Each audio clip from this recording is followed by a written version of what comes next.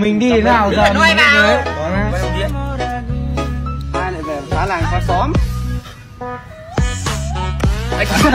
Hôm nay trời đẹp thế nhở? À.